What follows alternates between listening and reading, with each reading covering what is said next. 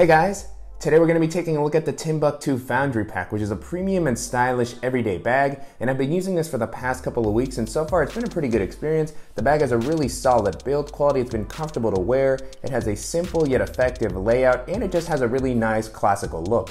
So I'm really excited to share it with you guys, and let's just jump in and take a closer look at the Timbuk2 Foundry Pack. Starting out with the outside of the bag, I really like the overall aesthetic. I think the bag has a very stylish look. It seems like a classic style that's been updated for a modern generation. And so it really feels like it's gonna fit in well into a professional environment or with a nicer outfit, but it's still not gonna be out of place for walking around a college campus or for just taking exploring on a day in the city. As far as the materials, the bag is made out of a really rugged waxed canvas and it has some leather accents at different points of the bag. So just a really solid and premium build quality. One thing I will note is that although I haven't noticed any staining or issues from the light rain that I've been caught in with this bag, I would be pretty scared to get caught in a heavier downpour. I feel like the stuff inside the bag would be pretty well protected, but I'd be worried about there being some sort of staining or discoloration on the bag. So still not as easy to use in all sorts of different environments, such as something like the ballistic nylon that we see on a lot of Aer's bags. But overall, the build quality on the bag has been great. I really like the use of these classic materials. The stitching and everything all around the bag just feels very well put together. The bag is currently offered in two different colors. You can buy it in a black or the version that I have here is called the Scout and this is kind of a greenish grayish version. Kind of depends a little bit on how the light is hitting it, but I really like the versatility of this color and it looks great in both options. On the front of the bag, there is a metallic loop that you can use to attach different accessories such as a bike light or maybe a carabiner. And so this is a very interesting choice here. This loop doesn't really come out a whole bunch, so it's not a lot of space. I actually wasn't able to fit in my hero clip that I normally use to hang up my bags. It was just a little bit too small of an opening. So I do wish that this would have come out a little bit more just to provide some extra give, or that it actually looped down over the front of the bag. Because it's kind of facing upward, it just ends up being a little bit awkward to use. Continuing along the outside, there is a simple slip pocket here on the right that offers a decent amount of space. Currently what I have in here is just my Ray-Ban sunglasses with their case so that I can get to them quickly. This compartment, even though it has a nice amount of space, it doesn't have much give, so this isn't really a great spot to put a bulkier item such as a larger water bottle. So I do wish that this had had some elasticity to make it a little bit more versatile, but for the most part, still nice to have this kind of taller and larger compartment on the outside to be able to grab something quickly. On the other side of the bag, there is a larger zipper compartment, and this one does work well for holding a water bottle. Currently, what I have in here is the same water bottle that you've seen in all my other daily bag videos. And that fits in there really comfortably. I like that this one has a little bit of additional space. It has these guards on the side that allow the compartment to come out. And then if you wanna use this for holding something that's not as tall as a water bottle, you can toss some accessories in there. There's plenty of space. And then you can actually zip this compartment up to prevent anything from falling out. And so this zipper here is a little bit trickier to use, especially when you're first using the bag. When it's brand new, it can be a little bit harder. Once you start to break it in, it can get a little bit easier. So for me, since I have been using the bag quite a bit, you can see that the zipper is starting to smooth out. This is a YKK zipper, but this style of zipper here that's a little bit more traditional, I guess you could say, it doesn't work quite as smoothly as some of the other YKKs that we've seen on Timbuk2's bags. So not a huge deal, and as I mentioned, it should get easier over time, but something I wanted to go ahead and call out. As far as the capacity of the bag comes in at about 18 to 20 liters, which is a really good daily bag size in my opinion. I also really like that the bag maintains a slim silhouette even when it's fully packed out, making it very easy for navigating crowded cities or for jumping onto a bus or something like that. And I also think the slim silhouette gives it a very professional look, so if you do want to take this into the office or wear it with a nicer outfit, I feel like it's going to work really well. Jumping into the straps and the back paneling, the bag has been pretty comfortable to wear. I really like how the straps have been implemented here. They have a nice amount of padding and comfort. They're really soft right out of the box so they feel nice and broken in. On the inside, there's no sort of meshing material to help prevent moisture from building up, but the straps do have a nice width to help prevent it from digging into your shoulders while you're wearing it with a lot of weight. One thing to note here is that there is no sternum strap nor the ability to add one, but I don't think that's a huge deal considering this bag isn't quite that big. One thing that you will find on the strap is Timbuk2's classic bottle opener. Here it has a slightly updated look to match the more fashionable style of the bag. I do wish that this had been removable just to kind of make the bag a little bit cleaner and also for walking into a workplace environment as this does have a little bit more professional style. It would have been nice to have the option to take this off. In order to adjust the straps, they have this more classical double ring style, which does offer a pretty strong hold in my opinion, but it can be a little bit difficult to adjust. So it might take a little bit of fidgeting to get the fit just right, but once you have it, it's gonna stay in place real well. And then I also like that the straps include these little bands to help keep everything looking a little bit neater. Moving on to the back paneling, this has been pretty comfortable as well. There's a nice amount of padding here, but unfortunately like the straps, there's no meshy material and there's also no sort of elevation, so the bag will tend to get pretty sweaty while you're wearing it, especially if it's a hotter day. With that being said, it still felt pretty great even when I've had it fully loaded out with a lot of weight.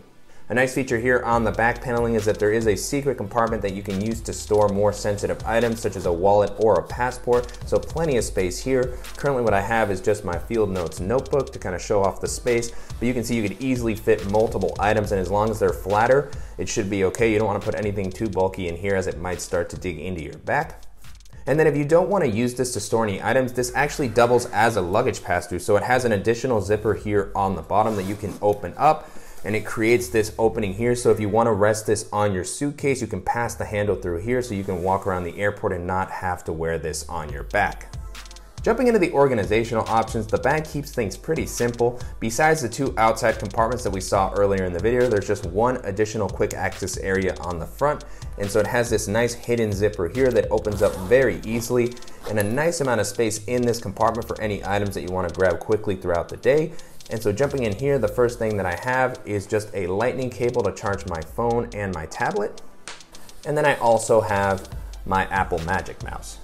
Even though with those items in there, there's still plenty of space in this compartment. I really like larger, simple compartments such as this, which are great for holding bulkier items. I definitely could have tossed in my GoPro or my sunglasses into here very easily. Besides that, no sort of internal organization or felt lining. The only other thing in this compartment is this longer lanyard that has a nice clip where you can attach your keys or a multi-tool, which is what I currently have here. This is the Gerber Dime, and I really like the implementation here. Very similar to other Timbuk2 bags. This clip is very easy to open and close, and because it's metallic, it just has a little bit more of a durable feel. The next area we're gonna take a look at is the laptop compartment. And this bag is interesting in that it actually offers two laptop areas. One of them is here on the back so that you can access it from the outside. So if you wanna be able to get to your laptop quickly without opening the main area, this is gonna be a great spot to place it. And so plenty of space in this laptop pocket here. What I currently have is my 13 inch MacBook Pro.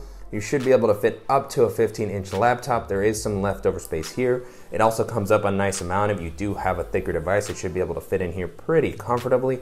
The compartment itself offers a nice amount of padding. This is kind of the back padding as well. This is what makes the bag comfortable. It's pretty thick. On the inside, there's no sort of felt lining or anything like that to help prevent against scratching. It's not fully suspended off the bottom of the ground, but one thing that I noticed is that the compartment comes down to around here, so it wasn't exactly touching the ground when I placed my bag down. I do wish that it had been maybe suspended just a little bit more, but for the most part, I didn't notice any issues with my laptop touching the ground, even when I placed my bag down a little bit harder. Jumping into the main area, this is a top loading bag, and so this flap here is secured with two magnetic buckles, very similar to what we've seen on bags such as the Boundary Supply Errant.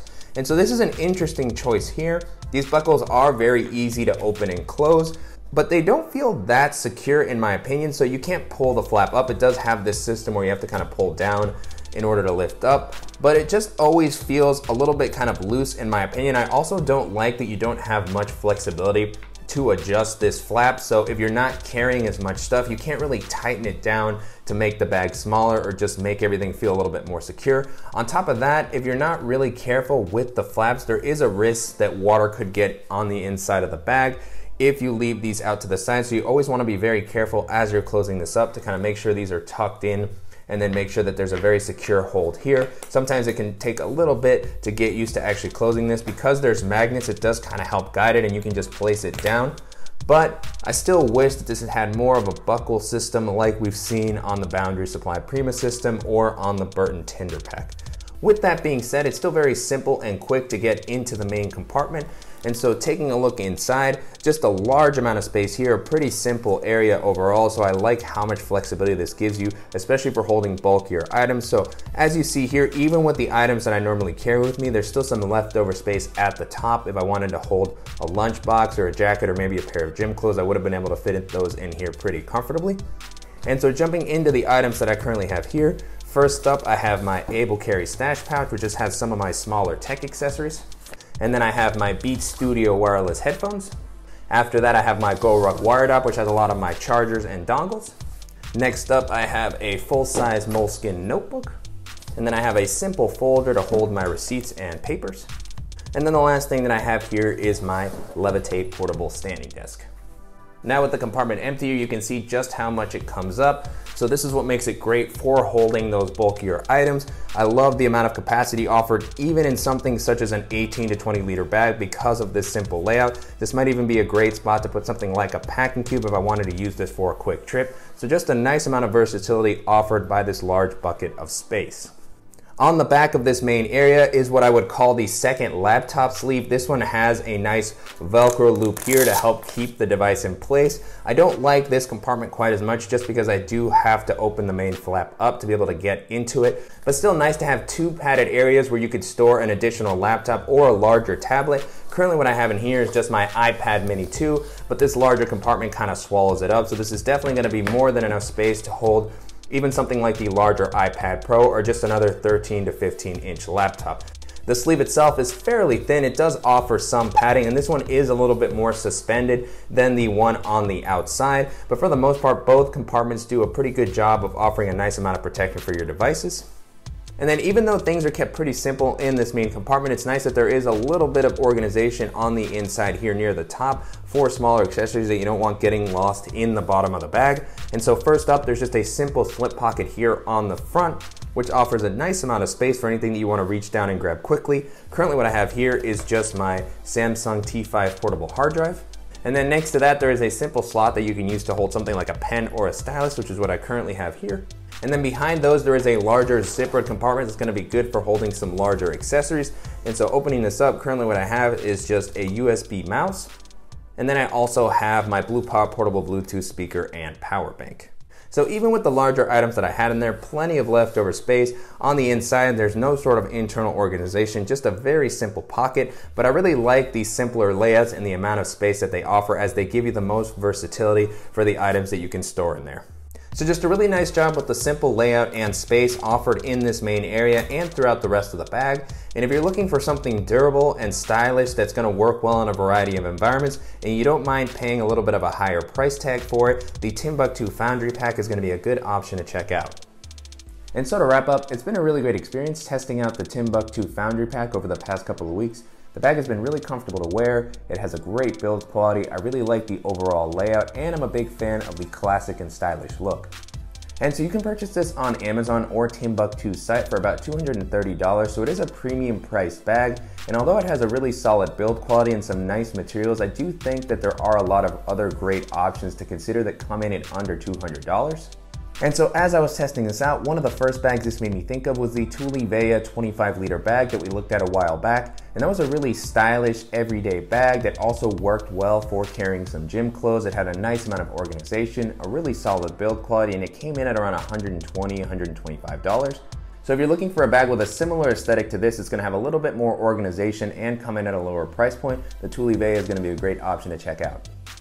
The next bag this made me think of was the Boundary Supply Errant Pack, which has been one of my favorite everyday bags that we featured on the channel. That one has a really solid build quality, some great organizational options, a lot of weather resistance, and it even has a similar top flap opening to this with a magnetic closure. That one's gonna come in at around $150, so still a bit of an investment, but if you're looking for something kind of like this that's gonna offer more weather resistance and organizational options, the Boundary Supply Errant Pack is gonna be another great option to keep in mind. The next bag this made me think of was the Dayfarer backpack, which is another stylish and durable everyday bag. That one comes in at around $180 and it's gonna have a really solid build quality, lots of great weather resistance, and it also works well as a gym bag. So if you're looking for something with this sort of aesthetic that's gonna work well for the office, the Dayfarer backpack is gonna be another great option to take a look at. Another bag this made me think of was the updated version of the Bellroy Classic Backpack, which is a really stylish and well-made everyday bag. It has a very simple layout, but plenty of space, some nice organizational options, a really great laptop compartment, and it just has a really awesome look. And so Bellroy actually has a lot of great stylish options, and they also have some top loading bags similar to this if this is a little bit more of your aesthetic. But if you're just looking for a simple bag that's gonna offer a lot of versatility and a great build quality, the updated version of the Bellroy Classic Plus is gonna be another great option to check out. If you like this style of bag but you're looking to save a little bit of money, another great option to take a look at would be the Burton Tinder Pack, which is just a really simple top-loading bag that has a very classic look, a really solid build quality, a very simple layout, and it comes in at under $100. I've been using that bag for a really long time now. It's one of my favorite kind of versatile bags. It packs down really flat, so it's really good for taking on trips, and it just has a very versatile look that's offered in a lot of different color combinations. So if you're looking for something kind of like this, but you want a bag that comes in at under $100, that'll be a great option to keep in mind. And so the last option that I'll mention here, if you're looking for a premium bag with a similar aesthetic, is the Rucksack from Nutsac. And that was a really solid, simple bag that had a very classic look similar to this. It also had a really nice wax canvas and leather build. And that one's gonna come in a little bit more expensive at around $360, but it is made in the US. So if that's something that's important to you and you want a bag like this, then that's gonna be a great option to check out. With that being said, the Timbuk2 Foundry Pack holds up really well against all those bags, and if you don't mind the higher price and you're looking for a bag that's gonna hold up well over the longer term and has a really classic and stylish look, this is gonna be a great option to check out. And so I'm definitely curious to hear what you guys think of the Foundry Pack and its style and overall layout, and if there are any similar bags that you think I should feature on the channel, as always, please let me know in the comments. And I want to thank you guys again for watching. And if you found this video useful, please give us a like. And if you haven't already, please go ahead and subscribe so you don't miss any upcoming videos. And thank you guys so much.